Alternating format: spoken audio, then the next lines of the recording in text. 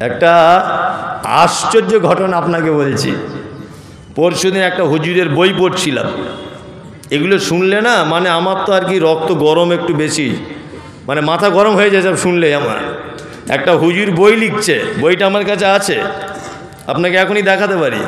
একটা হুজুর বই লিখছে, বলছে কোনো মানুষ যদি মারা যায় আমাদের হুজুরের এত পাওয়ার, মালাকুল মত কবরে আসার আগে হুজুর গিয়ে বসে থাকবে, তার জন্য একটু মোকাবেলা করে দিবে।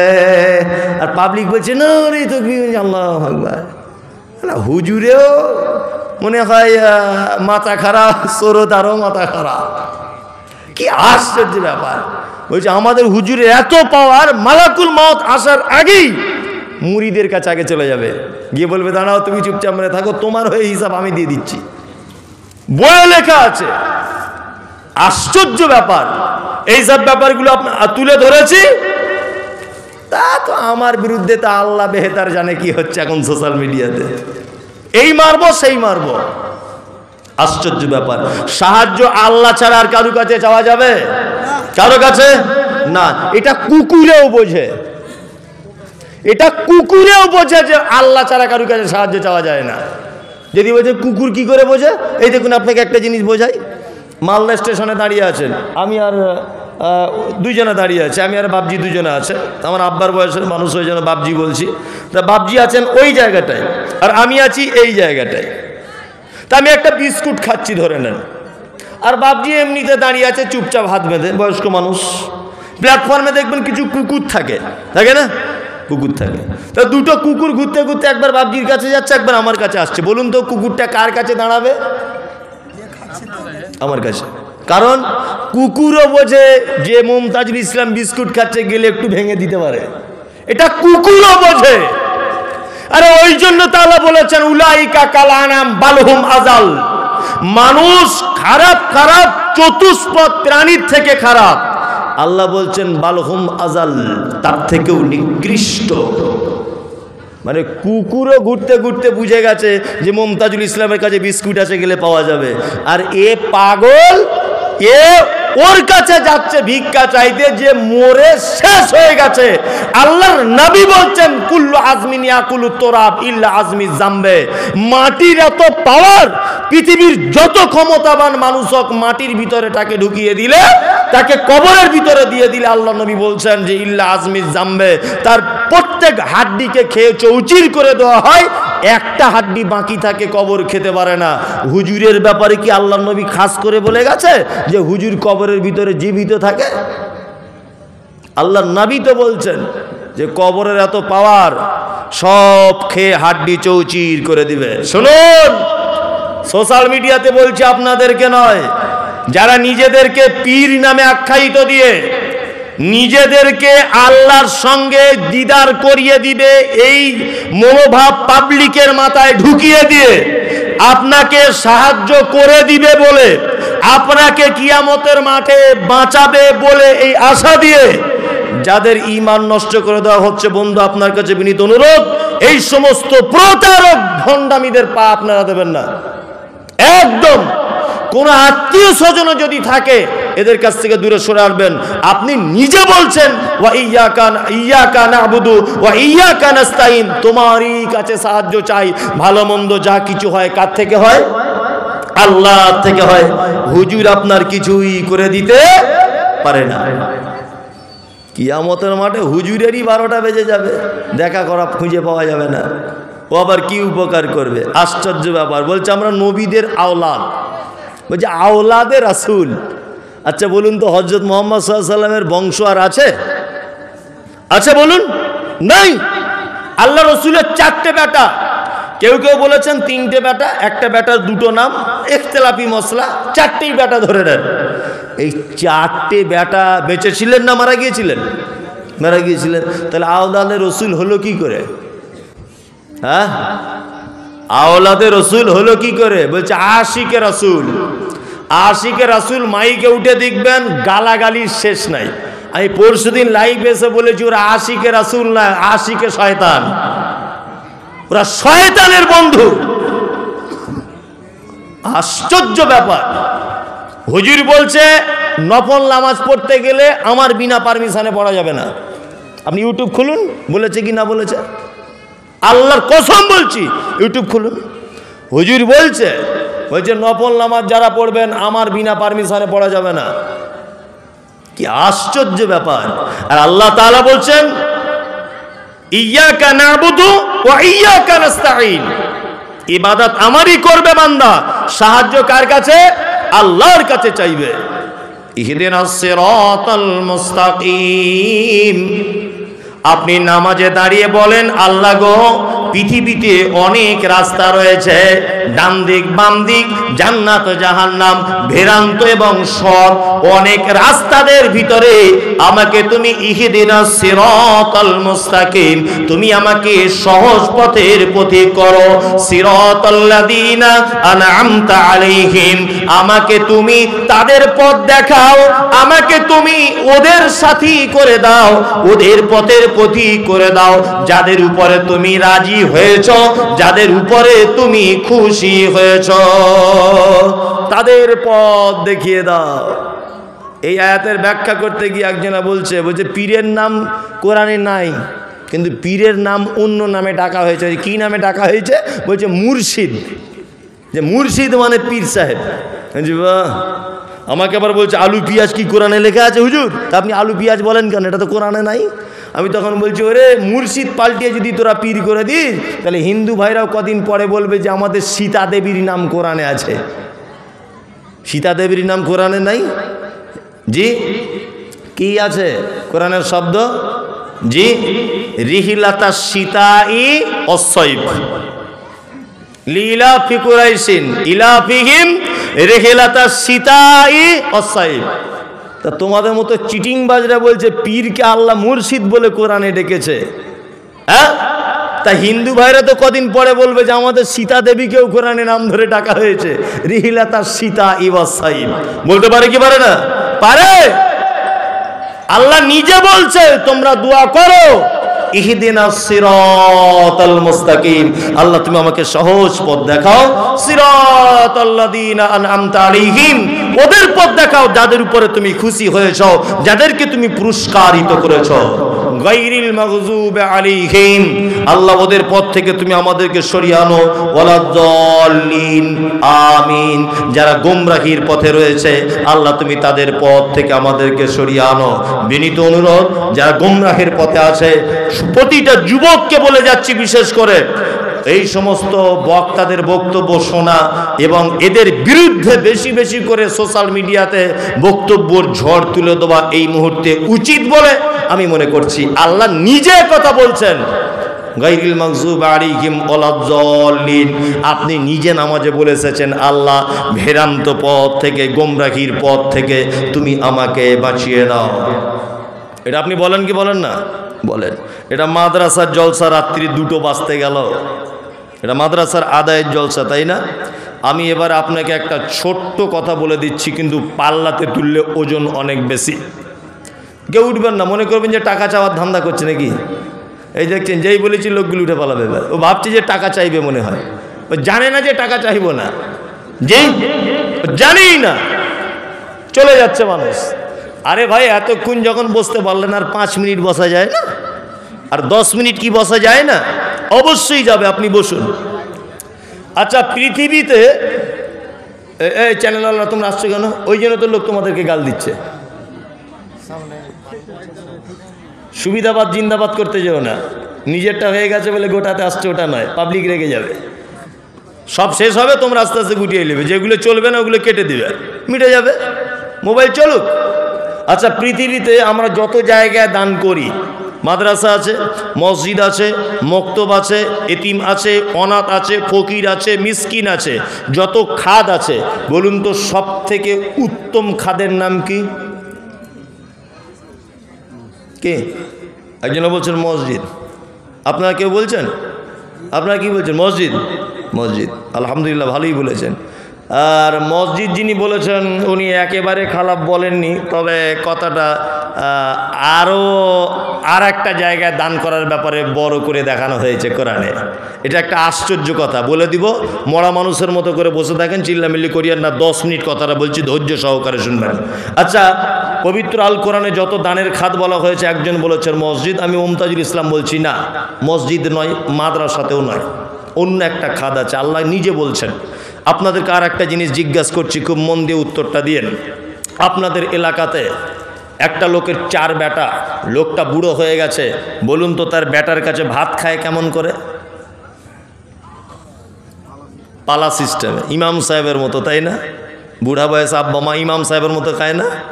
পনেরো দিন করে পালা সিস্টেম, ষোলো দিন হয়ে গেলে বৌমারও বড় বড় চোখ বার করে। আবার কিছু কিছু বৌমা বলে, আমাদের তরকারি কি খুব মজা? আবার কেউ কেউ বলছে, ক্যালেন্ডার দেখে খেতে পারো না। কতদিন হলো আজকে? সতেরো দিন হয়ে গেল। বলছে, কি বলছে না? ক্যালেন্ডার দেখে খেতে পারো না? অনেকজন বলছে, আল্লাহ অবাক হয়ে যাবে। চার ভাই রাজমিস্ত্রি কাজ করেন দিল্লিতে। দিল্লিতে কাজ করেন চার ভাই। বাড়ি আসার এক সপ্তাহ আগে আপনার স্ত্রীকে ফোন করেছেন। হ্যালো, সাবিনা? যে হ্যাঁ কি বলছো? না, সামনে বুধবারে বাড়ি যাব। কিছু নিয়ে যেতে হবে? যে আমার জন্য ঢাকায় শাড়ি, মেয়ের জন্য পাকি দামি চুড়িদার, ছেলের জন্য একটা ভালো টি শার্ট একটা জিন্স, ঈদের দিনে পড়বে আমার ছেলে। ভালো। চার ভাইয়েরই একই অবস্থা। মা বুড়ো হয়ে গেছে, বয়স প্রায় পঁয়ষট্টির কাছাকাছি। আব্বার বয়স প্রায় সত্তর, পঁচাত্তর বছর বয়স। তা আপনি শপিং মলে গেছেন কেনাকাটা করতে? জি? তা আপনার স্ত্রী সেই সময় ফোন করেছে, হ্যালো, কই গো রেশমার আব্বা, কোথায় আছো? তা ও তখন শপিং মল থেকে বলছে, আমি জামা কাপড় কিনছি, তোমাদের কালকে দশটাতে ট্রেন আছে, বাড়ি যাব। এই কারণে তা সবার জামা কাপড় কেনা হয়ে গেছে। ওর স্ত্রী তখন বলছে, একটু তাড়াতাড়ি কেনাকাটা করো, গাড়ি ফেল হয়ে যাবে। ও তখন বলছে ফোনে, না, সবার কেনা হয়ে গেছে, মায়ের জন্য একটা শাড়ি পছন্দ করছি। যেই বলেছে মায়ের জন্য শাড়ি পছন্দ করছি, তখন ওর স্ত্রী ফোনে বলছে, কেন মায়ের জন্য শাড়ি পছন্দ করছ? প্রত্যেক বছরে তোমাকেই শাড়ি দিতে হবে। তোমার আর তিনটে ভাই চোখে দেখতে পায় না, তোমার বোনেরা জমি নিয়ে চলে গেল, ওরা চোখে দেখতে পায় না। তোমাকেই তোমার আব্বার জন্য লুঙ্গি কিনতে হবে। চলে এসো, কিনতে হবে না। বইয়ের কথা কে না শোনে? আমি যতই ফটর ফটর করি, ঘরে গেলে কথা বলতে পারি না। কিছু বললে আমার বউ আমাকে বলে, পাগল নাকি? কে ডাকে বলো দেখি তোমাকে জলসাতে? আমাকে বলে পৃথিবীর সব লোক বইয়ের কাছে কাবু কাবু না? সব। যতই সাইকুল হাদিস, যতই কারি সাহেব, যতই এমএলএ, যতই মন্ত্রী, আল্লাহ ওদের কাছে এমন চিজ দিয়েছে, সব পুরুষ মানুষ গিয়ে কাবু। কোনো বিদ্যা বুদ্ধি খাটবে না। একজন রাজামশাই তার স্ত্রী রানীকে বলছে, রানী, একটা কথা বলব তোমাকে? তা বলছে, বলো। বলছে, একটা কথায় আমার তোমার উপরে বিশ্বাস নাই। বলছে, কি? বলছে, পৃথিবীর সব পুরুষ মানুষ তার বইয়ের কথায় চলে না। রানী বলছে আর সব পুরুষ মানুষ তার বইয়ের কথায় শোনে। রাজা বলছে, এটা আমি কখনই মানি না। রানী বলছে, তাহলে এক কাজ করো, পরীক্ষা করা যাক। নে, দুইটো এরকম সভা টাকা হলো, একদিকে রাজা আছে, একদিকে রানী আছে। রানী কোন দলে? যে সব পুরুষ মানুষ তার বইয়ের কথা শোনে, রানী ওই দলে। আর রাজা, কিছু পুরুষ মানুষ তার বইয়ের কথা শোনে না, ওই দলে। যত লোক আসছে রাজপ্রাসাদে, সব রানীর দলে। মানে সবাই তো বইয়ের কথা শোনে। সবাই রানীর দলে। রাজার মন খুব খারাপ, সকাল ছটা থেকে দুপুর বারোটা পর্যন্ত রোদে বসে আছে। ওর দলে একটাও লোক নাই। মানে রাজা মনে মনে ভাবছে যে দুনিয়ায় তাহলে সব লোক বইয়ের কথাই চলে। এখন দুপুর বারোটা একটা বাজে, তখন একটা বুড়া মানুষ ছাতা মাথায় দিয়ে রাজার দিকে আসছে। রাজার প্যান্ডেলের দিকে। রাজা তখন ভাবছে, যাই হোক, আল্লাহ আকবর, আমার কাছে একটা লোক অন্তত আছে, আমার রাজ্যেতে যে তার বইয়ের কথা শোনে না। রাজা খুলে তোরা নিয়ে যাচ্ছে বুড়াটার কাছে সম্বর্ধনা জানাবার জন্য। এখন বুড়ো তো মানুষ অশিক্ষিত বুঝে না। রাজা ভেবেছে, এই লোকটা বইয়ের কথা শোনে না। ফুলের তোরাটা দিচ্ছে আর বলছে, সত্যি ভাই, তুমি আমায় মান সম্মানটা বাঁচালে, না তো আজকে আমার রাজার সিট থেকে হটে যেতে হতো। তার বুড়া তখন বলছে, কেন? বলছে, তুমি তাহলে বইয়ের কথা শোনো? তখন শোনো না? তখন বুড়াটা বলছে, না, আমার বউ বাড়ি থেকে আসার সময় বলেছে, বেশি ভিড় ভেটটাতে দাঁড়াবে না, ফাঁকা জায়গায় দাঁড়াবে। কি হয়েছিল?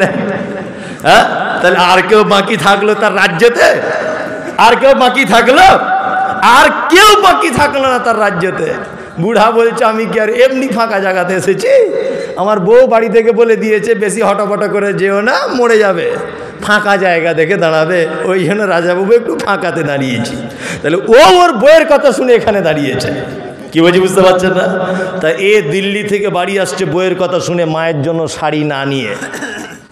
খুব মনোযোগ সহকারে শুনবেন। স্টেজে যারা আছেন, স্টেজের বাইরে। এ কথা আপনি আগে কোনোদিন শুনেছেন কি জানি না, আজকে শুনে তবে বাড়ি যেতে হবে। তা বাড়ি চলে আসছে চারটে বেটা চারদিক দিয়ে। সবার স্ত্রীর জন্য শাড়ি জামা কাপড় এনেছে। আব্বার বয়স পঁচাত্তর বছর, বুড়া মানুষ চোখে কম দেখে। ঈদের দিন হয়ে গেল, সব মসজিদে তকবীরের ধমনী বাজছে। আল্লাহ আকবার আল্লাহ আকবার সব লোক বাড়ি থেকে নতুন জামা, পাঞ্জাবি পরে ঈদগাহে যাচ্ছে। আর আপনার আব্বা গোসল করে অপেক্ষা করছে যে, বৌমারা, লুঙ্গিটা দেবে পড়ে যাব। সবাই নামাজের টাইম হয়ে যাচ্ছে, জোরে জোরে চলে যাচ্ছে। আপনার আব্বা, সে গত বছরে একটা পুরাতন লুঙ্গি ছিল, সেইটা পরে আপনার আব্বা ঈদগাহে চলে গেল। কোনো রকম করে। আপনার মা বুড়া মানুষ আপনার দুতলা বাড়ি উপরে উঠতে পারে না বলে এক কোনাতে বারান্দায় মশারি টাঙিয়ে দিয়েছে মশারির ভিতরে চুপচাপ মেরে বসে ঈদের নামাজ কোনো রকম করে পড়ছে। পুরাতন শাড়ি পরে। আহা ঈদের দিন একটা বেজে গেল। তোমার শালি এসেছে দুলাবাই এসেছে, সবাইকে খেতে দিয়েছে, আনন্দ করছ দুতলার উপরে। গান বাজাচ্ছ, মোবাইল ঘাঁটছ। তোমার মা একটা পর্যন্ত ঈদের দিনের একটু পায়েস তোমার মায়ের মশারির ভিতরে পৌঁছালে না। তোমার আব্বাকে একটু তুমি দিয়ে দিলে না হাতে করে যে, আব্বা, তুমি বুড়ো মানুষ, তুমি এক চামচ খাও, আজকে ঈদের দিন। এটা তুমি বলতে পারলে না। কারণ তোমার মায়ের থেকে বড় অপরাধী, তোমার বাপের থেকে বড় বদমাস লোক পৃথিবীতে আর কেউ নেই। তোমার মায়ের ঈদের দিনে নতুন শাড়ি পেল না, ঈদের দিনে দুটোর সময়তে তোমার মা খেতে পেল, তোমার আব্বা ঈদের দিনে নতুন লুঙ্গি পরতে পেল না তোমার মায়ের পৃথিবীর সব থেকে বড় অপরাধ হলো এটা যে তোমার মতো একজন বদমাইশ ছেলেকে জন্ম দিতে গিয়ে তোমার মায়ের বাড়ি ছিল বাবুপুরে, তোমার মা ছিল পর্দানাসীন মহিলা, তোমার মা ছিল অপরূপা সুন্দরী, তোমার মা ছিল চরমা ইমামদারিনী মহিলা, তোমার মা তোমার মতো বদমায়েশ পুরুষ মানুষকে জন্ম দিতে গিয়ে, তোমার মতো বদমায়েশ ছেলেকে জন্ম দিতে গিয়ে মালদার হসপিটালে পরপুরুষের সামনে উলঙ্গ হয়েছিল। এটা তোমার মা ঈদের দিনে শাড়ি পেল না, তার প্রথম নম্বর বড় অপরাধ। যে তোমার জন্য পুরুষ ডাক্তারের কাছে তোমার মা তার লজ্জার স্থান দেখিয়েছে, এটা তোমার মায়ের জব থেকে বড় অপরাধ। তোমার মা শাড়ি পেল না, দ্বিতীয় অপরাধ কি? না তোমার মায়ের দ্বিতীয় অপরাধ হলো এটা তোমার মায়ের বয়স তখন পঁচিশ বছর, তোমার মা তখন চরমা সুন্দরী। তোমার মাকে দেখে কোনজন তোমার মায়ের মাথার চুল হাঁটু পর্যন্ত কালো কুচকুচে চুল। পাড়ার সব মেয়েরা তোমার মায়ের মাথার চুল দেখতে আসে। তোমাকে হসপিটালের বেডে জন্ম দিতে গিয়ে তোমার মায়ের কালো কুচকুচে চুল, তোমার মায়ের রক্ততে লাল জমাট বেঁধে গিয়েছিল। এটা তোমার মায়ের দ্বিতীয় বড় অপরাধ। তোমার মতো বদমায়ের ছেলেকে জন্ম দিতে গিয়ে। তোমার মা ঈদের দিনে নতুন জামা পেল না, তোমার মায়ের অপরাধ কি? তোমার মায়ের তৃতীয় বড় অপরাধ? তোমার মা তোমাকে জন্ম দিতে গিয়ে তোমার মা সুস্থ, সবল মহিলা, এক জায়গাতেও কোনো কাটার দাগ নেই, নিখুঁত মহিলা। কিন্তু তোমাকে জন্ম দিতে গিয়ে তোমার মায়ের পেট ধারালো ছুরি দিয়ে ডাক্তারবাবুরা এক বিঘা পরিমাণ কেটে দিয়েছে, তারপরে মোটা দড়ি দিয়ে সুতো দিয়ে সেলাই করে দিয়েছে। সেই যে বেদনা, সেই যে সেলাই করার কষ্ট, আজও তোমার মায়ের বয়স চল্লিশ, পঞ্চাশ বছর। ভালো করে এক কলসি পানি কাঁধে নিয়ে আসতে পারে না, তোমার মেয়ে ভারী কিছু বহন করতে পারে না, তোমার মা একভাবে দুই ঘণ্টা বসে থাকতে পারে না। সিজারের জায়গাটা কন কন করে আওয়াজ হয় তাই, ব্যথা পাই তাই। এটা তোমার মায়ের তৃতীয় নম্বর বড় অপরাধ। তোমার মায়ের চার নম্বরের বড় অপরাধ পৃথিবীতে চিকিৎসা বিজ্ঞানীরা বলেছে, একজন শিশু তার মায়ের দৈনিক আটবার দুধ পান করে, প্রত্যেকবারে আড়াইশো গ্রাম করে দুধ পান করে, কোরআনের ভাষা হলো তিরিশ মাস দুধ পান করতে হবে, তার বাচ্চাকে এই কোরআনের ভাষা অনুযায়ী যদি তিরিশ মাস যদি তার মায়ের যদি দুধ পান করে, তাহলে হিসাব করলে দেখা যাবে এক হাজার আটশো কেজি দুধ পান করে একটা শিশু তার মায়ের। এক হাজার আটশো কেজি যদি দুধ পান করে, পঞ্চাশ টাকা যদি দুধের কেজি হয়, তাহলে নব্বই হাজার টাকার দুধ পান করেছেন আপনি আপনার মায়ের। আপনার মা মানে আপনার মা বাসে করে নানির বাড়ি যাচ্ছিল, আপনার বয়স তখন দুই বছর, মুখে তখন তোতলা তোতলা কথা বলতে শিখেছেন। আপনার বাসে উঠেই আপনার মাকে বলছেন, মা, এ মা, দুধ খাব, মা, দুধ খাব। আপনার মা পাড়া গ্রামের মেয়ে, বাবুপুরের মানুষ, খুব পর্দাশীল মহিলা, খুব আদর্শবান মহিলা।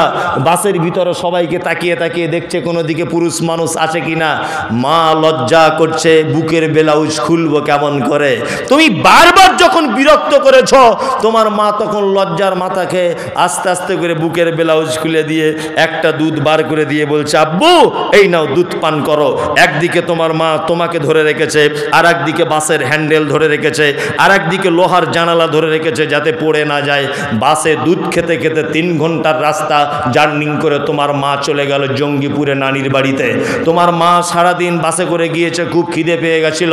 তোমার নানা, তোমার মা যাবে বলে সেদিন বিরিয়ানি রান্না করেছে। তা তোমার কোষ্ঠকাঠিন্য রোগ ছিল দু বছর বয়স, ঠিকঠাক পায়খানা হতো না।